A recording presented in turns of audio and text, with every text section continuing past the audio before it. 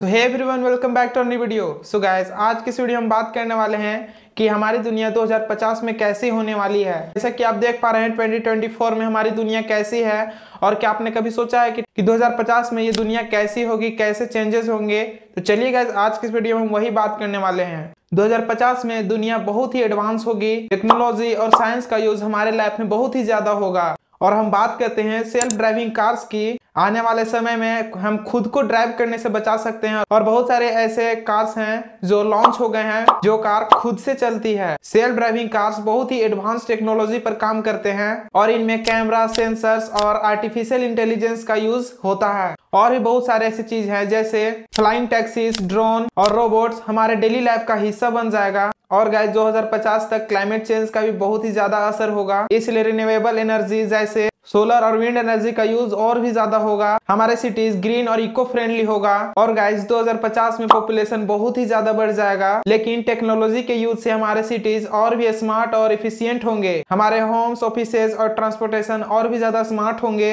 और 2050 तक हमारा पॉपुलेशन और भी काफ़ी इंक्रीज हो जाएगा। और इस वजह से फ़ूड प्रोडक्शन भी बढ़ जाएगा। वर्टिकल फ़ार्मिंग और लैब ग्राउंड मीट जैसे कॉन्सेप्ट बहुत ही पॉपुलर हो जाएँगे। और अब बात करते हैं स्पेस एक्सप्लोरेशन की। दो तक हम अपने सोलर सिस्टम के बाहर भी जाने लगेंगे और मार्स और मून पर हम अपने कॉलोनीज भी स्टेब्लिश कर लेंगे। मेडिकल इंडस्ट्री भी बहुत ही एडवांस होगी। जेन एडिटिंग और पर्सनलाइज मेडिसिन जैसे टेक्निक्स हमारे हेल्थ को और भी इम्प्रूव करेंगे और एआई की मदद से और बहुत सारे ऐसे मशीन की मदद से हमारे डिज़ीज़ को डायग्नोज करना और ट्रीट करना बहुत ही आसान हो जाएगा। और एजुकेशन सिस्टम भी बहुत ही डिफरेंट होगा। वर्चुअल क्लासरूम और ऑनलाइन लर्निंग प्लेटफॉर्म हमारे एजुकेशन सिस्टम को रिवोल्यूशन करेंगे और इन सब के साथ साथ हमारे सोसाइटी का माइंडसेट भी चेंज होगा।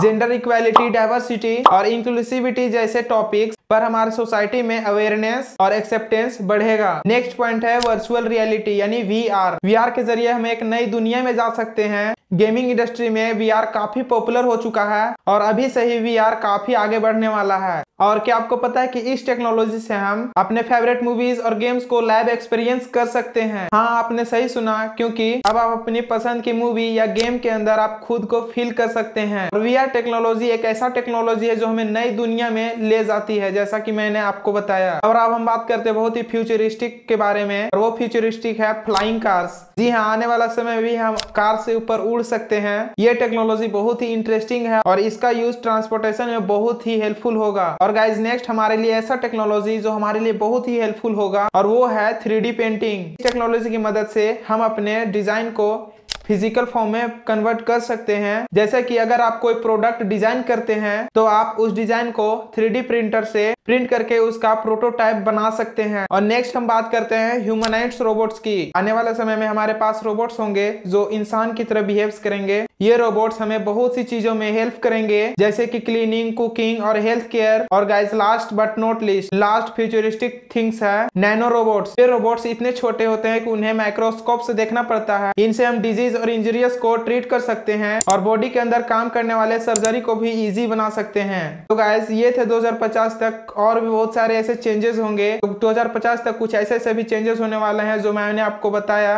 आई होप गाइज़ कि आपको ये वीडियो पसंद आया होगा। अगर आपके पास कोई और फ्यूचरिस्टिक थिंग्स है तो कमेंट सेक्शन में ज़रूर बताएँ।